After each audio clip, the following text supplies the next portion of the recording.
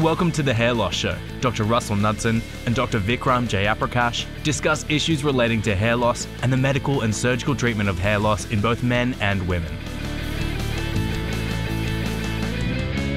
Hello, everybody, and welcome to episode 18 of the Hair Loss Show. I'm Dr. Russell Knudsen, And I'm Dr. Vikram Jayaprakash. and boy, do we have a hot topic for you today post finasteride syndrome. Is it a thing? well, this was only um, described uh, um, in 2011, which kind of bemuses me because the drug's been around since 1992 with men who are older than the uh, typical men for bald, taking it for baldness, taking five times as much as the recommended dose for hair, which is five milligrams a day for the prostate.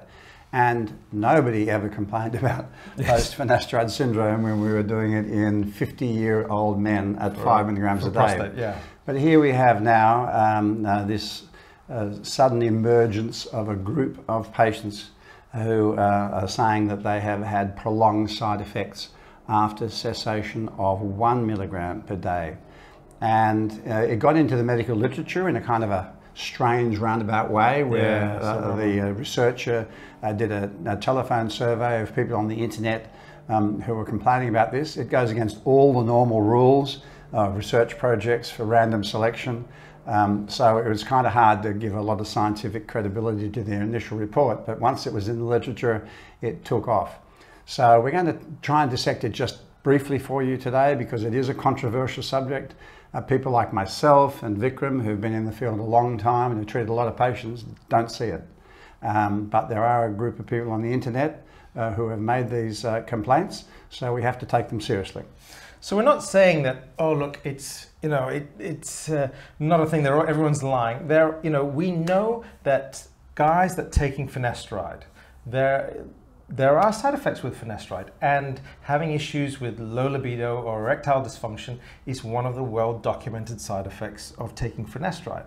But we can divide it, kind of divide it into to two groups of, of, of individuals. So if we try and do that on, you know, graphically, so if we if we start the tablet there, there's a, a group that, you know, initially React within weeks. within weeks, right? We'll get side effects, okay?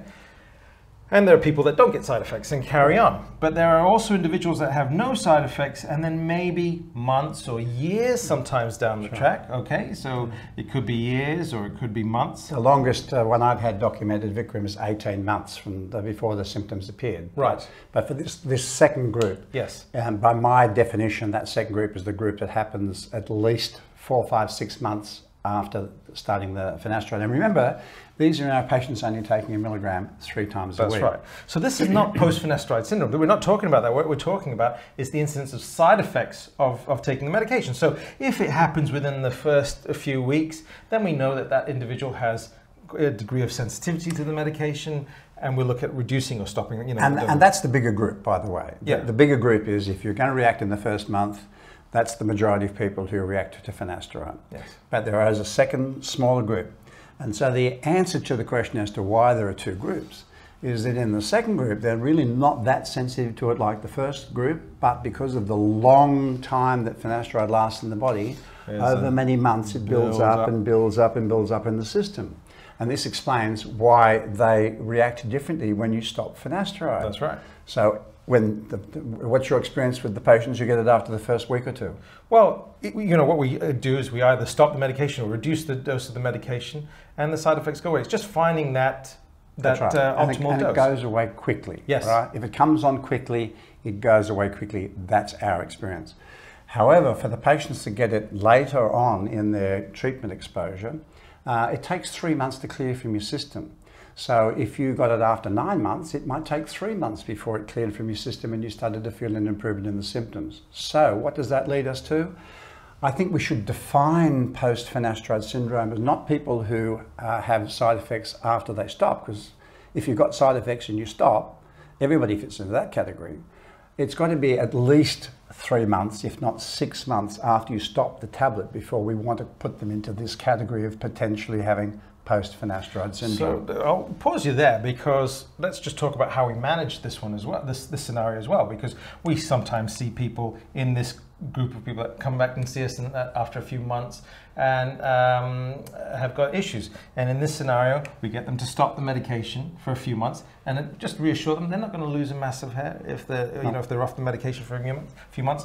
The levels wash out okay and then come back to baseline and then they can restart and then hopefully it's you know the, the build up is again slow uh, going forward but so there's two ways to do it okay? You can come back in at a lower dose. So i'll often say to people in this scenario take one a week yes. for a month see how that works. If there's no reaction take two a week for the next month. If that's no reaction then we'll maybe take it back to three a week or leave it at two a week. So that's one way to do it uh, uh, so you don't have, uh, and the other way to do it, and what I say to patients is if you're the person who takes it for six, seven, eight, nine months and then starts to get symptoms, but it takes that long for you to get the symptoms, then take it for five, take a month off. Then take it again for five, take a month off. In other words, give yourself a chance to clear it out of your system as you go along. So I've found both those strategies have been quite effective in patients who have got the longer term version of the side effects?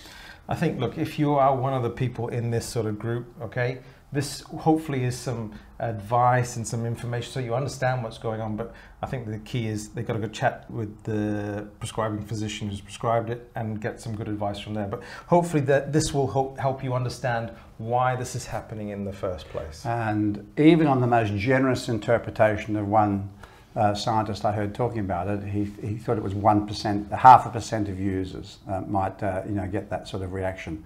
Um, that doesn't really accord with what we see in, sure. in, in, real life.